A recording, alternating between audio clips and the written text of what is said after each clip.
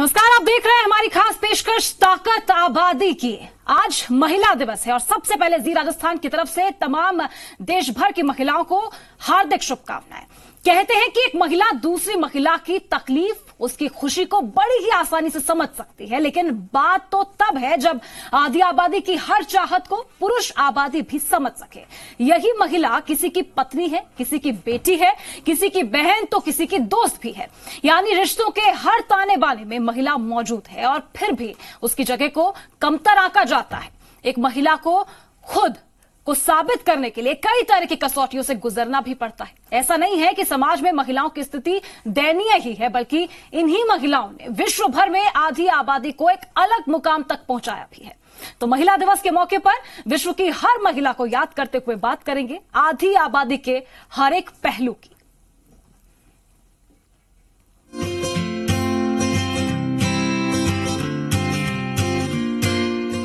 हर दिन किसी न किसी रूप में अहम होता ही है और 8 मार्च पूरा विश्व अंतर्राष्ट्रीय महिला दिवस के तौर पर मनाता है। महिला दिवस की शुरुआत वैसे तो 1909 में न्यूयॉर्क से हुई थी, लेकिन 1975 में संयुक्त राष्ट्र से इसे अंतर्राष्ट्रीय दिवस के तौर पर मान्यता मिली। तो बात यहीं से शुरू करते हैं कि क्या सिर्फ़ एक ही दिन आधी आबादी को डेडिकेट किया जाए। बल्कि हम सबकी ये ज़िम्मेदारी है कि आधी आबादी यानी महिलाओं और बेटियों को सशक्त करने के लिए हर पल हमें आगे बढ़ना चाहिए। उन्हें कमज़ोर मानकर उनका सहारा बनने की बजाय उन्हें समाज में बराबर की भागीदारी निभाने का मौका देना चाहिए। आज जब विश्व भर में तमाम क्षेत्रों में भारत की बेटियाँ परचम लहरा रही हैं, तो एक सच ये भी है कि कई बेटियाँ दहेज की आग में जलाई जा रही हैं। जहाँ बेटियों के ज़रिए वंश बढ़ने पर खुशियाँ मनाते हैं तो इन्हीं बेटियों को कोख में मार डालने जैसा घिनौना काम भी हो रहा है। इसी समाज में कई बेटियाँ अपने पिता का सहारा बनती हैं, तो कईयों को घर की दहलीज के भीतर घुट घुट कर जीना भी पड़ता है। अब सवाल यही कि आखिर हमारा समाज महिलाओं और बेटियों को लेकर गंभीर कितना है? क्यों महिलाओं के हक को एहसान का नाम दिया जाता है? क्यों उनकी तरक्की को अलग चश्मे से देखा जाता है? क्यों आज भी इतनी बंदिशों में महिला रहने को मजबूर है? कामकाजी महिलाओं की बात करें तो 2018 के एक सर्वे के मुताबिक भारत में महिलाओं को पुरुषों के मुकाबले 19 फ़ीसदी कम सैलरी मिलती है। जबकि आधी आबादी कही जाने वाली महिलाओं की नौकरियों में भागीदारी 100 पुरुष कर्मचारियों पर मात्र 26 की है। देश में करीब 60 फ़ीसदी महिलाएँ भेदभाव का शिकार होती हैं। एक मिथक ये भी है कि माँ बनने के बाद वो कामकाजी महिला आगे नौकरी पेशा वाला काम नहीं कर पाएगी, जबकि वही एक महिला पूरे परिवार की ज़िम्मेदारी अपने अकेले कंधे पर उठाती है राजनीति से लेकर खेल, मनोरंजन से लेकर विज्ञान, चिकित्सा से लेकर समाज सेवा और सेना से लेकर शिक्षा तक हर क्षेत्र में महिलाओं ने अपना परचम लहराया है कहते हैं, यत्र नार्यस्त पूज्यंते रमनते तत्र देवता। यानी जहाँ नारी का वास होता है, वहाँ देवता निवास करते हैं। बावजूद इसके आधी आबादी का एक सच ये भी है कि आज भी महिलाओं को खुद को सुरक्षित रखने, आगे बढ़ने और साबित करने में कई चुनौतियों का सामना घर से लेकर बाहर तक करना पड़ता है। और आज चर्चा इसी बात की करेंगे। Bureau report Zee media. आज विश्व महिला दिवस है। आज बात करेंगे महिला सशक्तिकरण की और साथ ही महिलाओं के जज्बे की। राजस्थान की महिलाओं ने हर क्षेत्र में न केवल राज्य का बल्कि देश का नाम भी रोशन किया है। आज हम आपको मिलाने जा रहे हैं देश की पहली महिला अधिकारी और राजस्थान की उस पहली महिला से जिसने माउंट एवरेस्ट को फतेह करने का इतिहास रचा है। पेश है एक रिपोर्ट।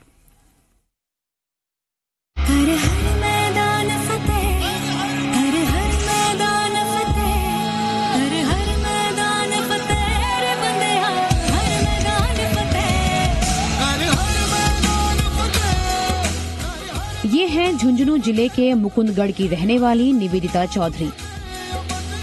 निवेदिता के नाम जो रिकॉर्ड और इतिहास दर्ज है, वो सालों तक युवाओं को, खासकर महिलाओं को प्रेरणा देता रहेगा। निवेदिता ने माउंट एवरेस्ट पर तिरंगा फहराने का कारनामा कर दिखाया है। 2008 में एयरफोर्स ज्वाइन करने वाली निवेदिता ने ये रिकॉर्ड 2011 में बनाया था। सन 2008 में मैंने इंडियन एयरफोर्स ज्वाइन किया as a cadet air force academy Dundigal Hyderabad में। फिर वहाँ मेरी डेढ़ साल की ट्रेनिंग हुई। उसके बाद में मैं as a flying officer commission हुई इंडियन एयरफोर्स में। और सन 2011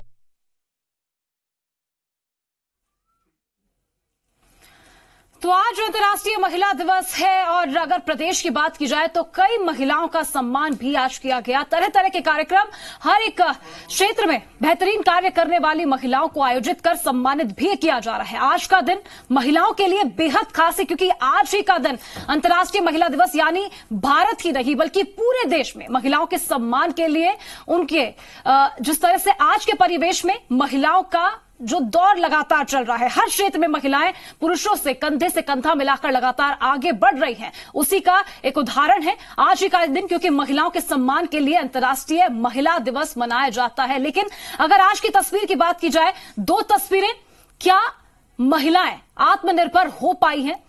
जिस महिला सशक्तिकरण की हम बात करते हैं, क्या वो आधी आबादी आज के समय में शहरों की जो तस्वीर है, क्या वो गाँव में भी उसी आधी आबादी की देखने को मिलती है? क्या महिलाएँ गाँव से ताल्लुकात रखने वाली, ग्रामीण परिवेश से ताल्लुकात रखने वाली भी उस तरह से लगातार आगे बढ़ रही है।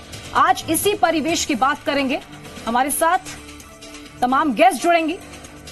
वो भी अपनी राय यहाँ पर रहेंगी कि आखिर आधी आबादी का सच है क्या?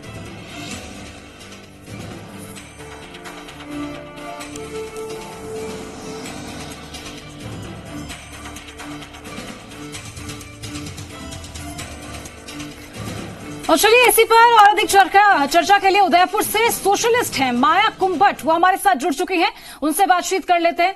अ, माया जी सबसे पहले स्वागत है आपका जी राजस्थान पर और आपसे सवाल लू उससे पहले अंतर्राष्ट्रीय महिला दिवस की आपको बहुत बहुत शुभकामनाएँ। माया जी अगर आपको भी आज- मेरी तरफ़ से बहुत बहुत शुभकामनाएँ। आज की अगर बात की जाए बात महिला दिवस का मौका हो अंतर्राष्ट्रीय महिला दिवस का मौका हो 8 मार्च का दिन हो तो महिलाओं के अधिकारों की सम्मान की उनकी आत्मनिर्भरता की बात होती है।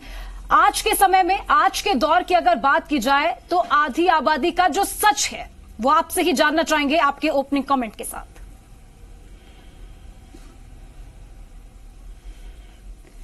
महिलाओं में अनंत शक्ति है। वो पूरे घर को संभालती है परिवार को संभालती है और समाज को संभालती है। बच्चों को शिक्षित करती है आगे बढ़ाती है और हर काम में अपना योगदान देती है। पर यह भी सच है कि इतना सब करते हुए भी जो स्थान उसको आज तक में मिलना चाहिए था वो नहीं मिल पाया है।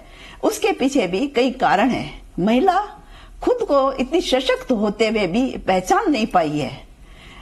उनको अपनी पहचान बनाने की अपने बारे में सोचने की और अपनी शक्ति और सामर्थ्य को समाज में बताने की बहुत ज़्यादा ज़रूरत है। समाज आगे जब बढ़ेगा जब महिलाएँ सशक्त होगी वह चाहे घर में हो चाहे काम के डिसीज़न लेने में हो या फिर बाहर के कार्यों में हो। क्योंकि इसके लिए पढ़ा लिखा होना बहुत ज़रूरी है। जब इंसान महिलाएँ पढ़ लिख के होशियार हो जाएगी तो उनके एक दो आँख की जगह चार आँखें हो जाती है। एक तो ज्ञान की आँखें हो जाती है और एक रियल विवेक की आँखें होती है। विवेक महिलाओं में जागृत होता है। तो विवेक जागृत होता है इसीलिए वो डिसीज़न लेने में मैनेजमेंट करने में घर को चलाने में और कैसे क्या करने में वो सक्षम होती है। तो उनमें अनंत शक्तियाँ होते हुए भी उनका उपयोग अभी समाज में नहीं हो पाया है। समाज में उनका उपयोग करने के लिए उनकी शिक्षा ज़रूरी है और शिक्षा के साथ साथ उनका आगे बढ़ना हो जाएगा और उसके साथ वो कई क्षेत्रों में आगे बढ़ के काम करेगी और समाज में महिला दिवस सही मायने में फिर महिला दिवस होगा। अभी ग्रामीण क्षेत्रों में हम बात करें तो ग्रामीण क्षेत्रों में महिलाएँ काफ़ी पिछड़ी हुई है। उनको क्या है कि पुरुषों के बराबर हक नहीं मिलते हैं।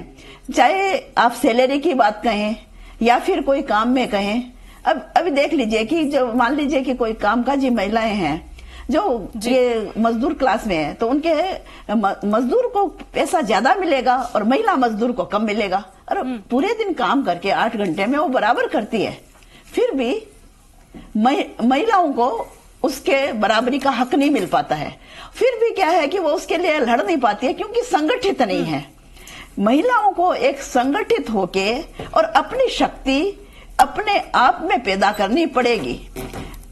मतलब उसके लिए कई बातें इम्पोर्टेंट हो सकती है। जैसे शहर है शहर में तो फिर भी महिलाओं को बराबरी का हक मिलता है और मिलता है। आगे बढ़ी है। कई क्षेत्रों में ये नहीं कह सकते अपन कि काम नहीं बढ़ा है, आगे बढ़ी है। कई क्षेत्रों में वो चाहे समाज सेवा का क्षेत्र हो या फिर चाहे एजुकेशन का क्षेत्र हो या फिर चाहे उसका मतलब नौकरी पैसा या कई भी आईएएस ऑफिसर वगैरह सब बनी है। परंतु आज महिला चाँद तक भी पहुँची है कल्पना चावला जैसे पहुँची है। फिर भी जो रेशियो है वो हम उसको सेफिशियंट नहीं कह सकते। महिलाओं की जो शक्ति है उससे अगर पूरा फ़ायदा मिले तो अपना देश इतना आगे बढ़ जाए और संसार भी आगे बढ़े। उसकी जो ग्रोथ रेट है हर चीज़ है बच्चे भी तो संस्कारित कब होंगे जब महिला संस्कारित होगी तभी अपने बच्चों को संस्कारित कर पाएगी। जब वो पढ़ी लिखी होगी वो सही मैनेजमेंट सिखाएगी सही काम सिखाएगी वजह भी यही है कि राजस्थान में खासतौर पर बालिका शिक्षा को बढ़ावा संस्कारित देने के लिए लोगों को जागरूक करने के लिए तरह तरह के अभियान भी चलाए जाते हैं लेकिन क्या जो मंसूबे हैं सरकार के प्रशासन के वो पहुँच पाते हैं लोगों तक? इस हकीकत पर भी आपसे बातचीत करेंगे। लेकिन उदयपुर से आप हमारे साथ जुड़ी हुई हैं। उदयपुर ज़िले की क्या कुछ तस्वीर है? ये दर्शकों को दिखाते हैं, आज अंतर्राष्ट्रीय महिला दिवस के मौके पर उन महिलाओं को याद किया जाता है जिन्होंने अपने दम पर समाज को नई दिशा प्रदान की है। कुछ ऐसा ही करने की मन में ठानी है। उदयपुर की एक महिला ने, जिसने महिलाओं को स्वास्थ्य के प्रति जागरूक करते हुए उन्हें सैनिटरी नैपकिन का इस्तेमाल करने के लिए भी प्रेरित करने का बीड़ा उठाया है। एक रिपोर्ट देखिए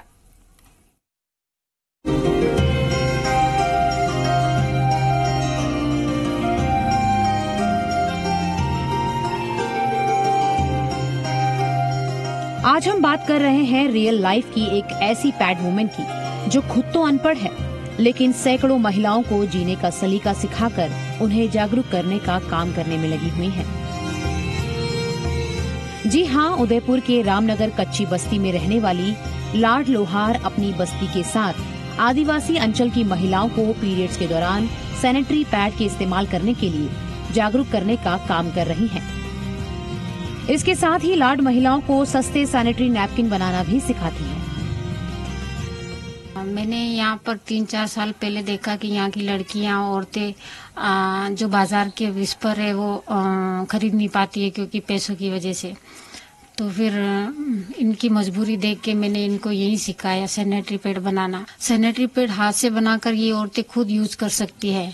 और इसके अलावा जो भी गरीब महिलाएँ हैं, जो मैं गोगुंदा, सराड़ा, चावड़, इधर मैं ट्रेनिंगों पे गई हूँ तो आदिवासी औरतें खरीद नहीं पाती। उनको भी मैंने बनाना सिखाया सैनिटरी पैड लाड लोहार साल 2011 में एक एनजीओ से जुड़ी, और वहाँ उन्होंने सैनिटरी नैपकिन बनाना सीखा। जब उन्हें अपनी बस्ती की बेटियों का पीरियड्स के दौरान स्कूल नहीं जा पाने का पता चला तो लाड ने घर पर ही उन्हें सैनिटरी नैपकिन बनाना सिखाया और फिर उन्हें इस्तेमाल करने के लिए जागरूक करने का काम शुरू किया अब तक लाड 500 से ज़्यादा महिलाओं को सैनिटरी नैपकिन बनाना सिखा चुकी हैं। पहले हम ये यूज़ करते थे बाहर वाले कपड़े तो वो हमें ज़्यादा कंफर्टेबल नहीं थे। इसकी वजह से हम स्कूल नहीं जा पाते थे। पाँच दिन तक छुट्टी लेनी पड़ती थी कहीं जाना आना भी नहीं होता था। डर लगा रहता था कहीं कुछ हो जाएगा कुछ दाग धब्बे लग जाएँगे। बट फिर ये वाला यूज़ किया तो हमें कंफर्टेबल लगा। इससे बाद कभी अब स्कूल की छुट्टी भी नहीं लेनी पड़ती जाना आना भी जा, सकते कर सकते। ये मार्केट से खरीद के लाता तो उसकी बीमारी लगती थी। और पैसे भी हमारे पास में इतने नहीं हो पाए, हम लोग मार्केट से खरीद के ला सकते हैं। इसलिए हम लोग घर के ही कपड़े हैं, घर से सिलते हैं और घर पे ही यूज़ लेते हैं। पहली औरतें शर्माती थी कि कैसे लगाएँ, कैसे क्या करें, चलने फिरने में दिक्कत आती थी, सुखाने में दिक्कत आती थी। अब मेला को बुलाए तो अपन अपनी चीज़ है जैसे शर्माने की क्या फ़ायदा? हम खुले में सुखाएँ, परंपरा की रीत है तो खुले में सुखाएँ, धोएँ, अच्छी तरीके से अच्छी तरीके से लगाएँ। तो हमको दिक्कत नहीं होगी तो कॉटन का कपड़ा से यूज़ करते हैं तो यही लगाते हैं हम भी लगाते हैं, दूसरों को भी सिखाते हैं इसको लगाओ तो बीमारी नहीं लगेगी स्वास्थ्य के प्रति महिलाओं को जागरूक करने का बीड़ा उठाने वाली लाड लोहार आज पैड वुमेन के नाम से जानी जाती हैं। गरीब महिलाओं को स्वास्थ्य के प्रति जागरूक करने का उनका ये सफ़र लगातार जारी है लाड लोहार के इस प्रयास के लिए जी मीडिया परिवार भी अंतर्राष्ट्रीय महिला दिवस पर उन्हें सलाम करता है। उदयपुर से अविनाश जगनावत के साथ ब्यूरो रिपोर्ट जी मीडिया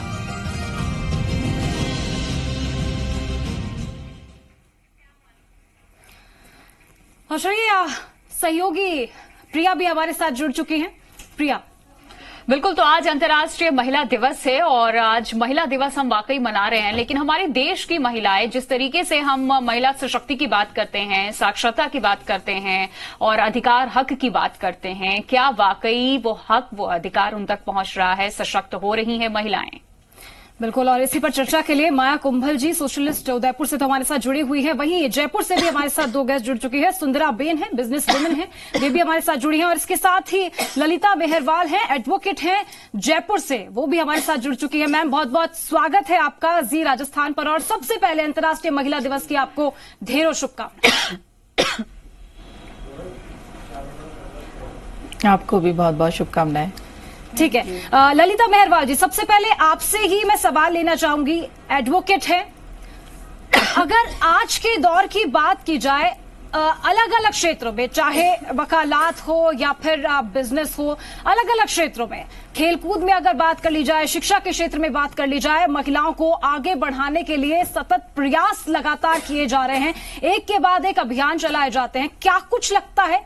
आज महिला दिवस पर यही जानना चाहेंगे कि क्या वो तमाम जो मंशा है, वो लोगों तक पहुँच पा रही है। आप खुद एक एडवोकेट हैं, शिक्षित महिला हैं।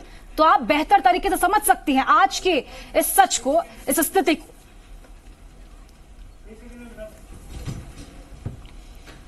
देखिए आज सब सबसे पहले तो मैं महिला दिवस की सभी को शुभकामनाएँ देना चाहूँगी सभी मेरी बहनों को।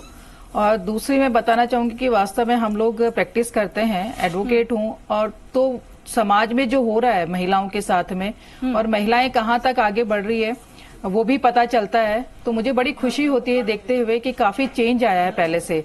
आज महिलाएँ उन्मुक्त रूप से अपना प्रोफेशन चुन रही है और अपना काम कर रही है चाहे वकालत के पेशे में हो चाहे किसी अन्य जॉब में। जो वो चाहती हैं वो कर रही हैं।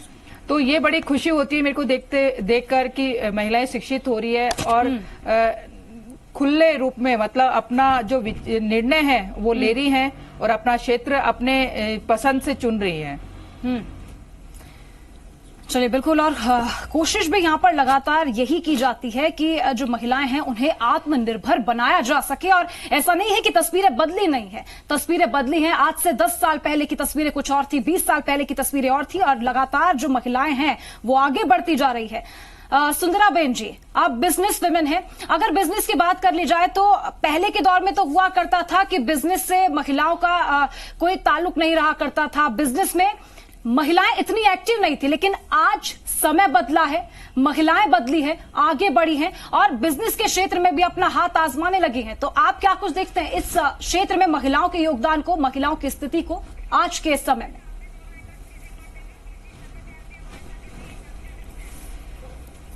मैं ये देख रही हूँ कि आजकल बिज़नेस में सबसे ज़्यादा लेडीज़ में सेल्फ कॉन्फिडेंस हुआ है। सेल्फ कॉन्फिडेंस भी है और उनको फ्रीडम भी मिली है काम करने की।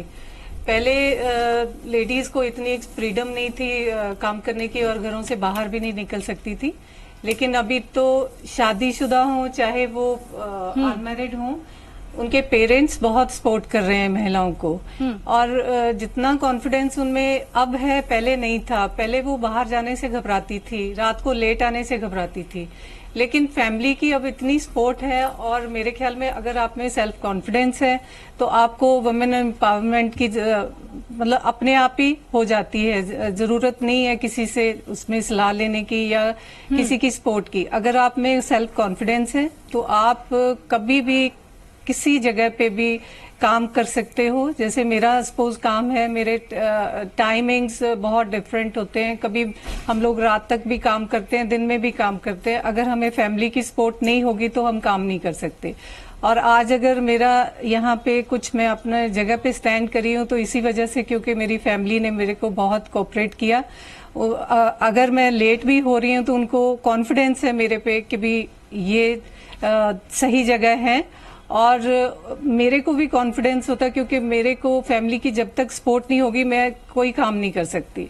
और जिस टाइम मेरे मैं काम कर रही हूँ और मेरे को कॉन्फिडेंस है कि मेरे पेरेंट्स को या मेरे हस्बैंड को या हमारी फैमिली को इतना कॉन्फिडेंस है मेरे पे कि भी मैं सही जगह हूँ तो हम लोग अच्छे से काम कर सकते हैं। और जब हम अच्छे से काम करते हैं तो हमें सक्सेस मिलती है। और मेरे ख्याल में आजकल जितनी भी महिलाएँ हैं, उनको काफ़ी ज़्यादा सपोर्ट मिल रही है अपनी फैमिली की तरफ़ से। मैंने देखा है लड़कियाँ बहुत एजुकेशन ले रही हैं आजकल। और ये इसी वजह से हो रही है क्योंकि सारी फैमिली जितनी भी पेरेंट्स है, वो सारे चाहते हैं कि हमारी लड़कियाँ अच्छे से पढ़ के शादी करें और अपने पैरों पे खड़े रहें। तो ये बहुत अच्छा चेंज आया है हमारी लाइफ में क्योंकि हम लोगों ने तो बचपन से लेके अभी तक बहुत डिफरेंस देखा है। वाकई एक औरत की ज़िंदगी में बहुत सारे उतार चढ़ाव आते हैं आपको घर परिवार भी संभालना है साथ ही साथ अगर आप जिस तरीके से बिज़नेस के एक्सपीरियंस को आपने शेयर किया है और कैसे परिवार का सहयोग रहा ये बहुत महत्वपूर्ण हो जाता है किसी भी औरत के लिए। और हमारे साथ श्वेता जैन जी भी जुड़ चुकी हैं जो खुद एक हाँ इंडस्ट्रियलिस्ट हैं। बहुत बहुत स्वागत है श्वेता मैम आपका हमारे खास शो में और महिला दिवस की आपको ढेर सारी शुभकामनाएँ बधाई। हम एक दूसरे को बधाइयाँ दे रहे हैं, शुभकामनाएँ दे रहे हैं। देखिए, जब इस शो की शुरुआत की थी हमने तो पहला सवाल हमारा यही था, क्या वाकई आज के दिन को सेलिब्रेट कर लेना, महिला सशक्तिकरण की बात कर लेना आज और सम्मान की बात कर लेना, उनके अधिकारों की बात कर लेना ही काफ़ी मात्र है। क्या आपको ये लगता है कि आज महिला जिस मुकाम पे है, जिस तरीके से सम्मान की बात करते हैं, सशक्तिकरण की बात करते हैं, हक की बात करते हैं, तमाम चीज़ें महिला की झोली में हैं, वो खुश है, वाकई?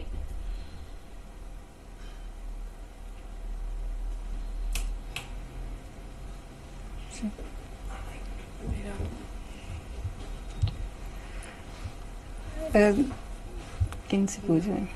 आपसे श्वेता जी मेरा सवाल आपसे है। अच्छा। हेलो। श्वेता जी अगर आप मुझे सुन पा रही हैं तो मेरा सवाल आपसे है मैम कि क्या आज के वक्त में महिलाओं को उनका अधिकार मिल पाया है? आप किस नज़रिए से देखती हैं? आज की महिलाओं को कितना सशक्त देखती हैं आप इस समाज में? सबसे पहले तो आप सबको महिला दिवस की बहुत बहुत शुभकामनाएँ। पहले के कंपैरिजन में अगर देखा जाए तो महिलाओं की स्थिति बहुत बेहतर हुई है, लेकिन फिर भी अभी बहुत कुछ होना बाकी है। अगर किसी भी घर में आज के टाइम में हम देखें सेकंड या थर्ड गर्ल चाइल्ड होता है तो वो खुशी महसूस नहीं होती है जो एक बॉय चाइल्ड के होने पर महसूस की जाती है। सबसे पहला फ़र्क तो यहीं से शुरू होना चाहिए। सेकंड अगर पेरेंट्स अपने बॉय चाइल्ड को और गर्ल चाइल्ड को जब पालते हैं तो इस तरीके से उन्हें पालना चाहिए कि ये सिस्टर जो तुम्हारी है, तुम्हें इसके साथ साथ और जो भी लोग हैं, जो भी जिनसे भी तुम्हें क्लासेस में मिलते हो, पढ़ते हो, उन सबका रिस्पेक्ट करना तुम्हें ज़रूर से आना चाहिए। जब हम बचपन से बच्चों को ये सिखाएँगे, तभी वो अपनी सिस्टर्स का या अपनी गर्ल्स जो भी फ्रेंड्स वगैरह होती हैं, उनका रिस्पेक्ट कर पाएँगे। बिल्कुल श्वेता जी यहाँ पर आपने कहा कि जन्म के साथ ही जो बेटा और बेटी में भेदभाव है, वहीं से जो महिला की स्थिति है, कितनी मज़बूत होती पूजा हम अगर अपने राजस्थान की ही बात करें जिस तरीके की तस्वीर राजस्थान बिल्कुल में और, देखने को और यही वजह है कि कन्या भ्रूण हत्या के मामले दिनों दिन सामने आते रहते हैं लेकिन इसके पीछे भी एक वजह है। वजह ये कि माना यही जाता है कि बुढ़ापे में बेटा ही माँ बाप का सहारा हो सकता है बेटियाँ नहीं। और सबसे पहली कुरीतियाँ जो कि राजस्थान में खास तौर पर अगर बात कर लें तो लगातार चली आ रही है। दहेज प्रथा की अगर हम बात कर लें तो इस तरह के केसेस लगातार सामने आते रहते हैं। आज चाहे जबान बदल गई हो, लेकिन दहेज प्रथा पूरे प्रदेश में लगातार आगे बढ़ती जा रही है। तो इसे लेकर माया कुंभल जी से सवाल लेंगे। सोशलिस्ट हैं चूँकि। माया जी, क्या कुछ ताल्लुक रखती हैं आप इससे? क्योंकि जिस तरह से जो भेदभाव की बात आ जाती है एक महिला में एक पुरुष में समाज में फैली कुरीतियाँ ही तो इसकी वजह?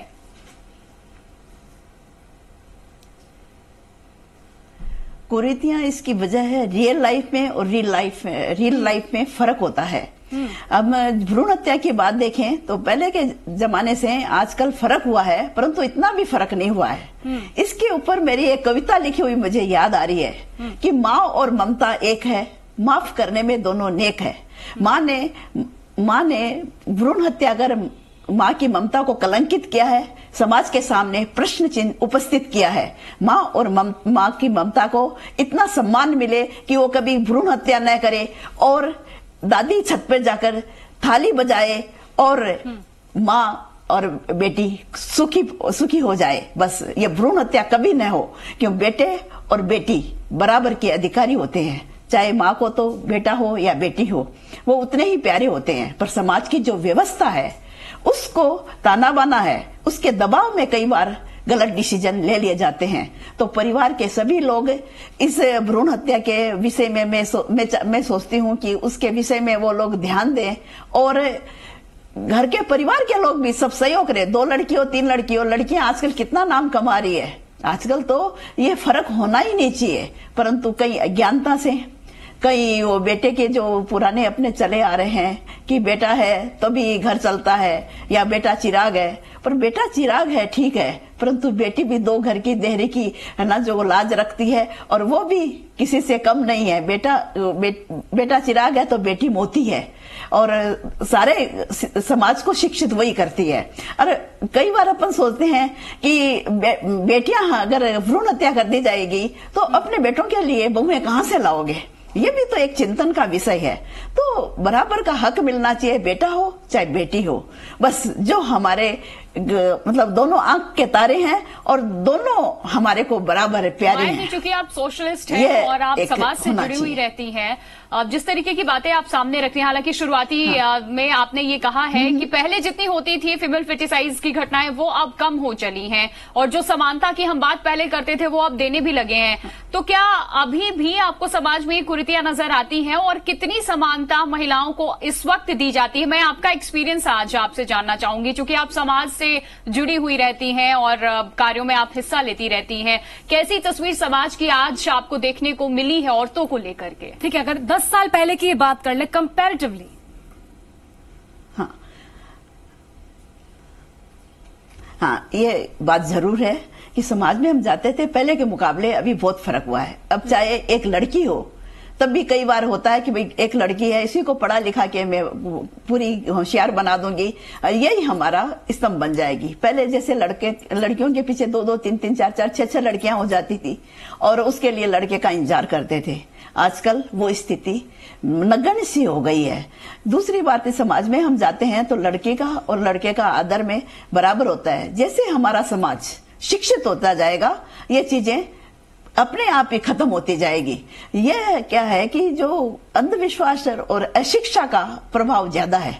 तो जहाँ पर शिक्षा का उजाला हुआ नहीं वहाँ पर ये सारी कुरुतियाँ अपने आप भग जाए चाहे देश प्रथा हो चाहे भ्रूण हत्या हो या फिर कोई समाज में अपनी फैली हुई कई अन्य प्रथाएँ हो। बस अशिक्षा इसके सबके मूल में मेरे को इसका कारण लगती है। कई बार क्या होता है कि अभी मैं समाज में जाती रहती हूँ, बाइया भी आती है, हमारे कई कार्यक्रम चलते हैं। तो उसमें क्या है कि एक बाई के घर में एक बार मैं गई थी कि मैडम, आप तो आना आना मेरे बेटी की शादी है। मैंने भी सोचा, चलो चले। परंतु वहाँ पर गई तो वैसे लगा कि भाई लड़की को न तो गले में पहनने को है न बारात आई है तो खाना पूरा तैयार है जबकि सब की तैयारी मैंने कहा कि भी तुम वहाँ से ले आना। और दूसरी बात क्या है कि उनको ऐसा लगा तो मेरे को लगा कि एक लड़की है उसको पूरा हक होता है कि शादी का जोड़ा तो एक पहने। और वो तो उसको होना ही चाहिए। तो उसके बाद से हम लोगों ने महिला समाज में इसकी एक शुरुआत करी कि भाई की बेटी वगैरह जो 18 साल की हो और इक्कीस साल का लड़का और शादी हो और कार्ड आए तो उसका शादी का जोड़ा हमारे समाज की तरफ़ से उसको भेंट किया जाता है और सारे हम महिलाएँ इकट्ठे होके उस काम में मुस्तैदी से लगती है। हमारी बहनें इतने प्रेम प्यार से लाके सब कुछ देती है उनको और कई चीज़ें और भी जो उसके साथ ज़रूरत की है वो भी देती हैं। तो एक चीज़, एक पहल कहीं भी अपन करें तो वो हमेशा कामयाब होती है। अब भ्रूण हत्या पे भी जो चीज़ें ये पहल हुई है, इसमें बहुत कुछ फ़र्क पड़ा है। आजकल सरकार भी इसकी तरफ़ से बहुत कुछ ध्यान देती है। वहाँ पर आप ये जो सोनोग्राफी में है ना देख नहीं सकते कि भाई लड़का है कि लड़की है, उसका बताना नहीं है। तो उसके लिए बहुत बड़ा फाइन रखा है। जहाँ पर फाइन की व्यवस्था हो और जहाँ पर सरकार और समाज जब जुड़ जाएँगे तो वहाँ पर काम एकदम सक्सेस और अच्छा हो जाएगा। तो अभी जो भ्रूण हत्या का कम हुआ है वो रेशियो घटते घटते नगण्य हो जाएगा। जैसे अभी हत्या की बात हो रही है समाज तो में एक चला था जब डॉक्टर साहिबा हमारे साथ जुड़ चुकी है। अंशु सरदाना जी मैम बहुत बहुत स्वागत है आपका और सबसे पहले अंतर्राष्ट्रीय महिला दिवस की आपको भी ढेरों शुभकामनाएँ। अगर आज के दिन की बात की जाए अ, माया जी भी हमारे साथ जुड़ी हुई है सोशलिस्ट है उनसे बात हो रही थी कि कन्या भ्रूण हत्या सबसे पहले जो भेदभाव है एक लड़के और लड़की में यहीं से शुरू हो जाता है उसके जन्म के साथ से ही शुरू हो जाता है और वजह यही है कि बेटियों को कोख में ही मार दिया जाता है। सबसे बड़ा दंश है ये समाज पर और राजस्थान में ढेरों केसेस हर एक दिन सामने आ जाते हैं। कई खुल जाते हैं और कई दबे रह जाते हैं। लेकिन अगर आज के इन केसेस की बात की जाए ऐसा नहीं है कि चिकित्सा महकमा इससे ताल्लुक नहीं रखता। चिकित्सा महकमे को तमाम जानकारियाँ रहती है चिकित्सा विभाग को तमाम जानकारियाँ रहती है लेकिन उसके बाद भी जो प्रशासन है इस पर रोक लगाने में लगातार फेल होता जा रहा है। आखिर क्यों?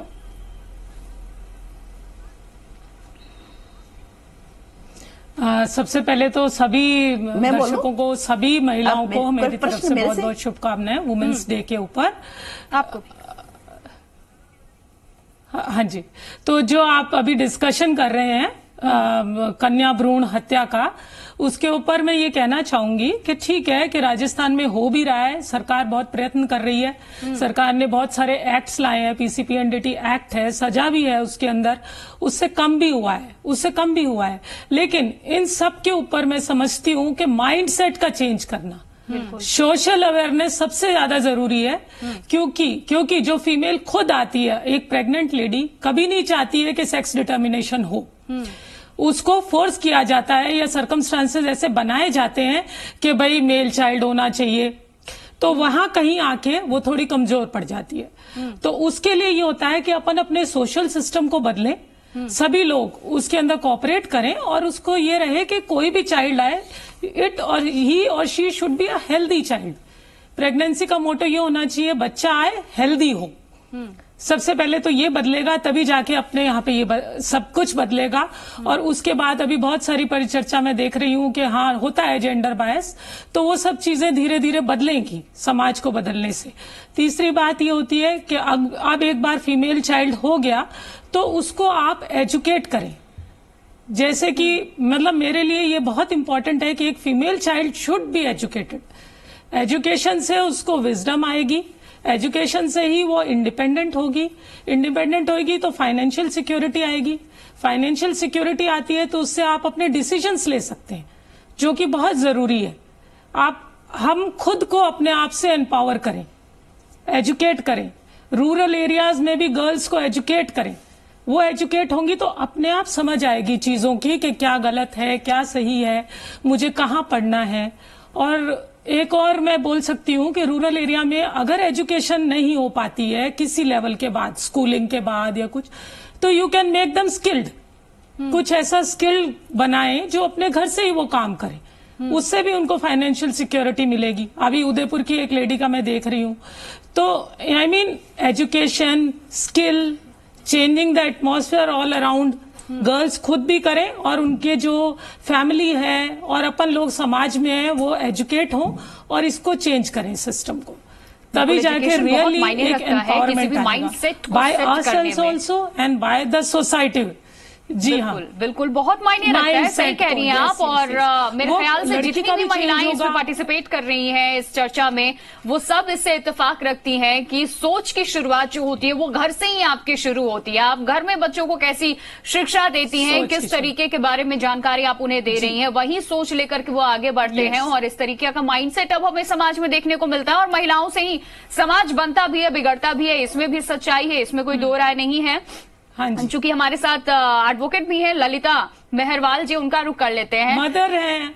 वी आर मदर्स हाँ। बिल्कुल बिल्कुल। एजुकेशन देना शिक्षा देना कहते ही है महिलाओं से ही घर है तो और start करना समाज। एक बेहतर समाज एक शिक्षित समाज एक महिला ही दे सकती और है। उनको जी। स्ट्रॉन्ग स्ट्रॉन्ग बनाए अपनी गर्ल्स को। उनको ऐसे यू ना करें पुल डाउन ना करें। स्ट्रॉन्ग बनाइए उनको। हर चीज़ में सपोर्ट कीजिए। बिल्कुल बिल्कुल स्ट्रांग बनाइए, साथ ही साथ माइंडसेट बिल्कुल क्लियर रखिए कि आगे चल के कोई भेदभाव ना हो, क्योंकि जैसा एग्जांपल डॉक्टर अंशु हमें दे रही थी कि एक महिला ही खुद आगे आती है और जिस तरीके से अभी हम फीमेल फिटिसाइज की बात कर रहे हैं उसको लेकर के महिलाओं की भी कई हद तक ज़िम्मेदारी होती है या फिर किसी तरीके का कोई प्रेशर भी हो। हालाँकि उसको झेलने की भी आप में हिम्मत और क्षमता दोनों होनी चाहिए। आप अपने पैरों पर ज़रूर खड़े हो किसी के ऊपर आश्रित ना हो ताकि ये दिन आपको ना देखना पड़े। ललिता जी का हम रुख कर लेते हैं उनसे जान लेते हैं। मैम चूँकि आप एक एडवोकेट हैं किस तरीके के कोर्ट कचहरी में ये मामले सामने आते हैं? आपका खुद का एक्सपीरियंस क्या कहता है? क्योंकि अभी हमने बात कर ली सोशलिस्ट से भी कैसी समाज में कुरीतियाँ आज के वक्त भी फैली हुई हैं। डॉक्टर से भी हमने उनकी राय जान ली किस तरीके से फीमेल फिटिसाइज को लेकर के भी अभी अभी हम बात कर रहे थे मानसिकता को लेकर के हम बात कर रहे थे। तीसरे जो दरवाज़ा है वो होता है अदालत का। लोग वहाँ जाते हैं खटखटाते हैं। जब आपसी सुलह समझौता संभव नहीं होता वहाँ पहुँचते हैं। आपके पास कैसे केसेस आते हैं? अभी तक आपने क्या कुछ एक्सपीरियंस किया है?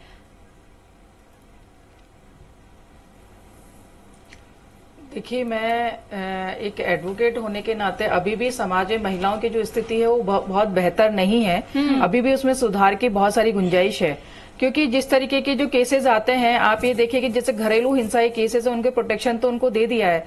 लेकिन जहाँ उनको जैसे मेंटेनेंस के लिए है तो वो जो मेंटेनेंस दिया जाता है वो बहुत कम होता है। उससे वो ना तो अपनी केयर कर सकती है ना बच्चों की केयर कर सकती है। तो ये भी एक पीड़ा हमारे मन में रहती है कि महिलाओं को इतना कम जो मेंटेनेंस मिलता है जो कोर्ट करती है तो वो सफिशियंट नहीं है। एक तरह से मैं तो उसको अपमान ही मानती हूँ। तो यहाँ भी कहीं चेंज होना चाहिए कि महिलाओं को अधिकार मिलना चाहिए। दूसरा, उनको रहने की जगह जो होती है कि जैसे अगर महिला का तलाक हो जाता है या फिर वो अलग रहने लगती है तो उसके जो रहने की जो व्यवस्था है, वो भी देखनी चाहिए वो भी प्रॉपर नहीं हो पाती है। तो कहीं ना कहीं महिलाएँ आज भी पीड़ित है इस चीज़ को लेकर और वो भी कानून में काफ़ी सख्ती से चेंज होना चाहिए। अभी भी कानून तो बने हैं लेकिन महिलाओं को वास्तव में कानून का जो अधिकार उनको मिलना चाहिए जो उनको हक जो उनका है वो मिलना चाहिए वो नहीं मिल रहा है। आप ये देखिए कल की घटना है बाड़मेर की कि एक महिलाओं एक अंधविश्वासी महिलाओं के ऊपर जो अ, महिलाओं का दमन करने के लिए बहुत बड़ा अपना योगदान निभाता है। क्योंकि बाड़मेर का जैसे कल एक केस था कि एक पति ने ही उसको बेल्ट से मारते हुए गाँव के एक छोर से दूसरे छोर पे लेकर गए भीड़ इकट्ठी थी। तो ये सब चीज़ें जो देखने को मिलती तो बड़ा दुख होता है कि महिला कहाँ सशक्तिकरण की हम बात कर रहे हैं इक्कीसवीं सदी में जा रहे हैं और आज महिलाओं के साथ ऐसा अत्याचार हो रहा है आज भी दौर के बाद माया जाल में तो फंसे हुए शहरों और ग्रामीण परिवेश में एक बहुत बड़ा अंतर देखने को मिल जाता है। अगर प्रदेश की ही बात कर लूँ तो पूर्व मुख्यमंत्री वसुंधरा राजे का 8 मार्च, यानी आज ही के दिन, विमेंस डे के दिन जन्मदिन भी होता है। तो वो भी एक बड़ा उदाहरण है। महिला मुख्यमंत्री वो रही हैं, पूर्व मुख्यमंत्री हैं, और ऐसे में उन्होंने भी सक्सेस का जो ग्राफ है वो लगातार बढ़ाया ही है। और किस तरह से उनका पारिवारिक सपोर्ट भी उन्हें रहा, और इस बात का जो लगातार वो बखान है वो भी करती ही रही है। वहीं अगर तमाम केसेस जो सामने आते हैं उनकी अगर बात कर ले दहेज प्रताड़ना हो दहेज प्रथा हो इस तरह की कुरीति इस तरह के केसेस में आपने वर्तमान समय में क्या कुछ देखा है? क्या इन केसेस में बढ़ते हुए समय के साथ कमी आई है या फिर ये केसेस बड़े हैं? ग्रामीण परिदृश्य की अगर बात कर लें।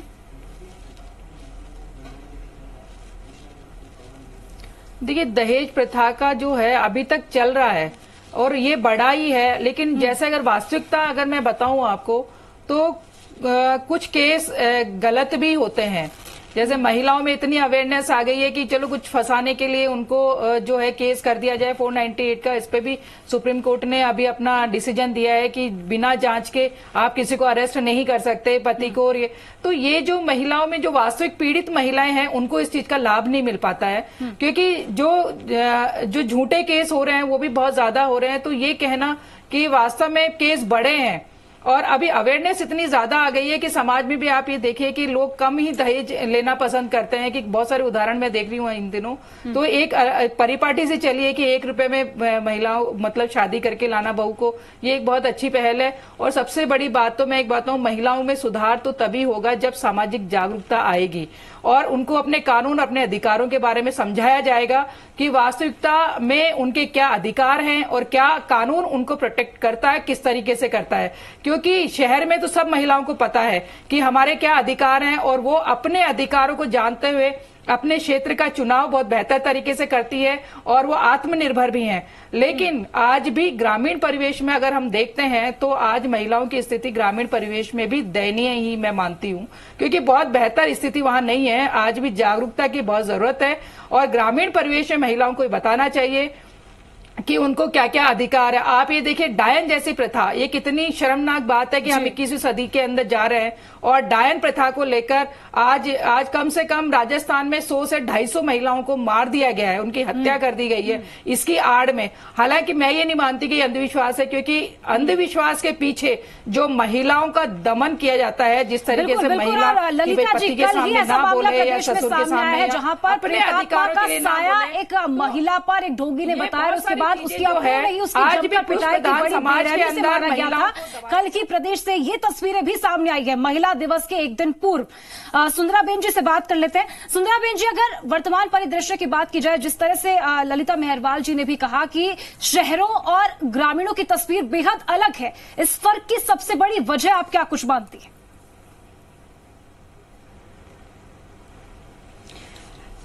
एजुकेशन की है। मेरे ख्याल अगर गाँव में अच्छी तरह से उनको एजुकेट किया जाए तो मेरे ख्याल में ये सारा चेंज आ सकता है। हम लोगों का जो प्रोफेशन है उसमें हम लोग चाहते हैं कि भी ज़्यादा से ज़्यादा महिलाओं को हम लोग अपनी ट्रेनिंग दें ताकि वो अपने पैरों पे खड़ी हो। और इसी टाइप की कोई ऐसी ट्रेनिंग जो अनपढ़ महिलाएँ भी हैं जो घर में भी बैठ के काम कर सकती हैं अगर उनको मोटिवेट किया जाए तो मेरे ख्याल में काफ़ी चेंज आ सकता है। और ब्यूटी का जो एक पार्ट है, वो सिर्फ़ यही नहीं है कि भी हमने फेशियल करने हैं या कुछ। उसके अलावा भी बहुत सारा वास्ट ऐसा फ़ील्ड है जिसमें हम महिलाओं को अपने आप आत्मनिर्भर कर सकते हैं। बना सकते हैं बिल्कुल उनको देखिए हम बात कर रहे हैं महिलाओं अच्छी ट्रेनिंग दी जाए की कुछ भी और जैसे कि सोशल पूजा ने भी कहा जाए। और ग्रामीण का यहाँ पर एग्ज़ाम्पल भी दिया गया है कि गाँव में आज क्या स्थिति है महिलाओं की किस तरीके से आज भी वो पीछे हैं। लेकिन पूजा देखो कहीं ना कहीं कमोबेश जो स्थिति है शहरों की भी वैसी है। सुरक्षा सबसे बड़ी सबसे- सबसे बड़ा मुद्दा। सबसे बड़ा मुद्दा है सबसे सबसे बड़ा बड़ी। परेशानी होती है महिलाओं के लिए कि आप अंधेरा होने के बाद एक महिला है अगर आप काम पे कहीं जा रही हैं तो निकलने से पहले आपको सौ बार सोचना पड़ता है कि आप जिस रास्ते से होकर के गुजरेंगे वो आपके लिए कितना सुरक्षित है सरकार को इसके लिए कई सारे नियम कायदे कानून भी बनाने पड़े हैं लेकिन क्या उसको आज के वक्त में फॉलो किया जा रहा है और क्या इतनी सुरक्षा इतनी सेफ्टी महिलाओं को दी जा रही है ठीक है इससे जुड़ा हुआ सवाल श्वेता जैन जी से ले सकते हैं एग्जैक्टली मैम मैं आपसे ये भी जानना चाहूँगी किस तरीके की प्रॉब्लम आपने अभी तक फेस की? क्योंकि हम समाज को लेकर के बात कर रहे हैं और ज़िम्मेदारी हम कहीं ना कहीं अब ये कह रहे हैं कि एजुकेशन की कमी है मानसिकता की कमी है लेकिन शहरों की हालत देखें तो बड़ी दयनीय है। शहरों में आप एक खुद बिज़नेस वुमन के तौर पे अपने आप को आपने विकसित किया है, आज स्टैब्लिश किया है। लेकिन क्या आपको कभी इस तरीके की परेशानी का सामना करना पड़ा? दस, पंद्रह पुरुषों के बीच में आपको डीलिंग करती क्योंकि आज भी लड़कियों की जो रेशियो है, खास करके वर्किंग वुमेन की, वो बहुत कम है। देखिए मैम, सबसे पहले तो कोई भी लेडी अगर काम करती है तो उसके पेरेंट्स उसके घर वाले या हस्बैंड या बच्चे एक जो सोच उसको देते हैं कि तुमको किसी से भी, कभी भी, कहीं पर भी डरना नहीं है। ये सोच हम सिर्फ़ देते हैं, लेकिन कोई भी गर्ल, चाइल्ड या लेडी, वो अपने अंदर से ही जगाती है, तभी वो आगे बढ़ पाती है। जब तक, लेकिन ये उसका डर निकालता कौन है? हमारे घर के पुरुष।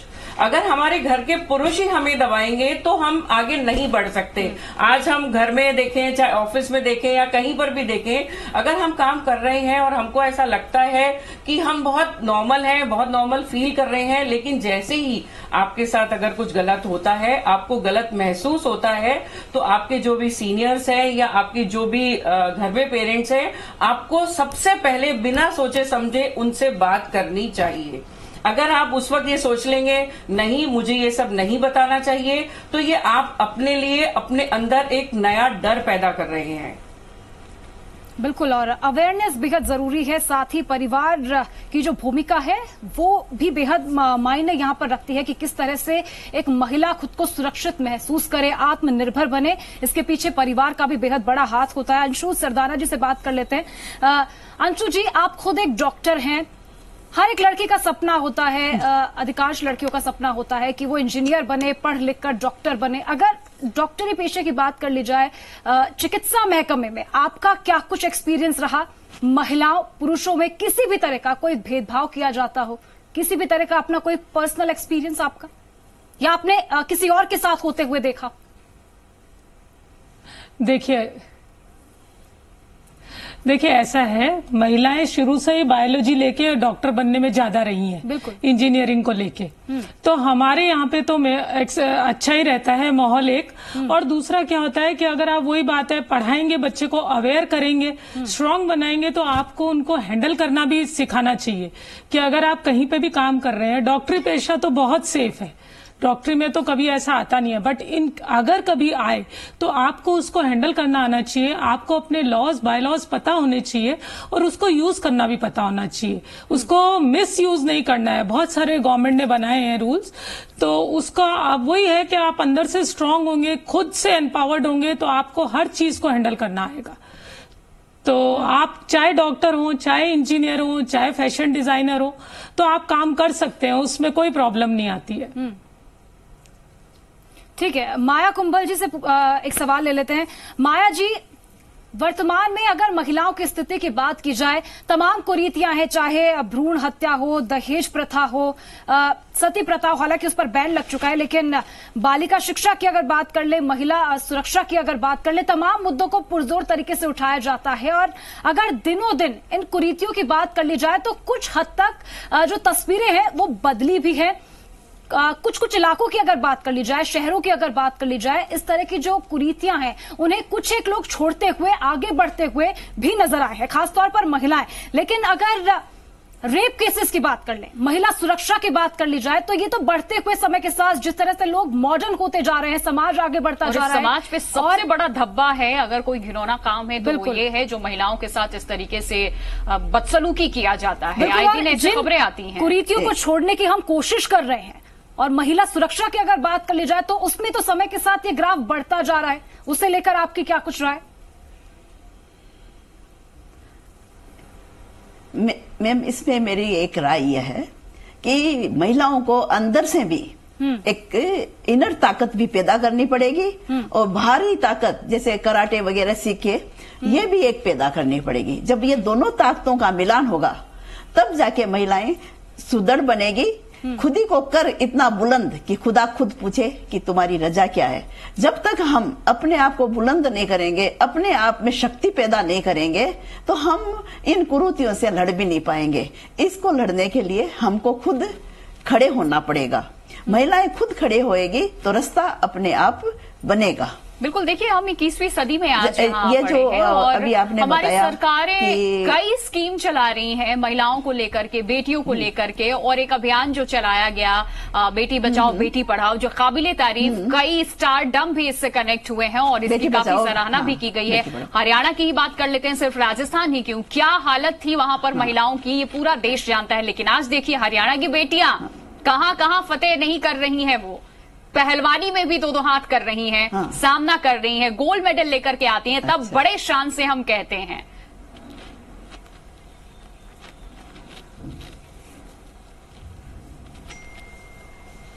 तो बेटी बचाओ बेटी पढ़ाओ अभियान है इससे फ़र्क तो पड़ेगा ही क्योंकि गवर्नमेंट भी साथ जुड़ी हुई है समाज भी साथ जुड़ा हुआ है और इसका फ़र्क अपने को दिनों दिन जो अपन लाइफ में देख रहे हैं महसूस भी हो रहा है परंतु जितना फ़र्क पड़ना चाहिए, इसके लिए और काम की भी ज़रूरत है।